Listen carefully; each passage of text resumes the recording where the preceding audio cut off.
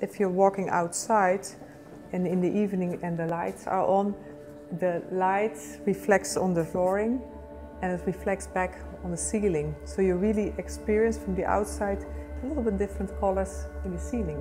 But the ceiling is white, but it reflects these colors. I'm Francine Houben, um, founding partner and creative director of Mecanoo Architects. I'm an architect and an urbanist. Uh, we are based in Delft in the Netherlands. My vision is very much based on the philosophy of people, place, purpose and poetry. Dealing with the people, with the local culture, with the local climate, creating space that can accommodate changes. There was an existing building, library in Washington DC, designed by Mies van der Rohe.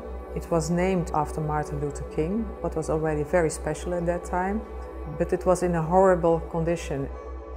Washington really wanted to make it the library of the future, and what we really try to do is to try to give it an identity that belongs to that city.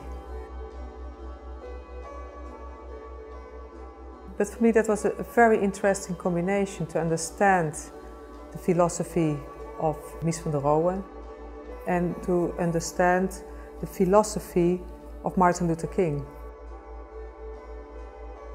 For me it's very much about timeless human values and I realized also that for the people of Washington uh, Martin Luther King and his legacy was of course much more important than the legacy of uh, Mies van der Rohe.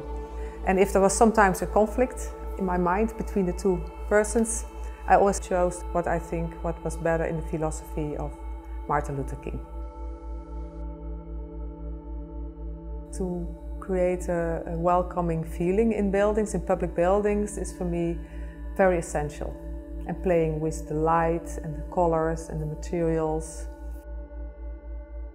I think to select Marmoleum for the Martin Luther King Memorial Library was for me so logic, to be honest. I don't know why, but uh, you know, it's a building from 1972. It has a, its kind of uh, modern, timeless values. And for me, Marmoleum also has these values. We selected Marmoleum in different colors.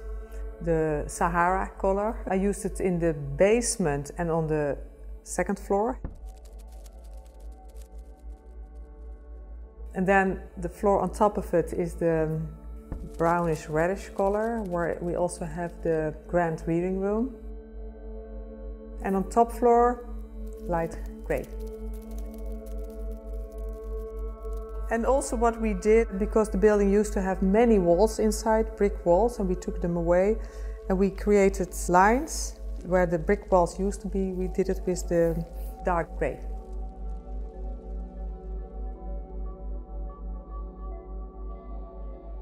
Yeah, Mies van der Rohe and this Marmoleum really, they belong together.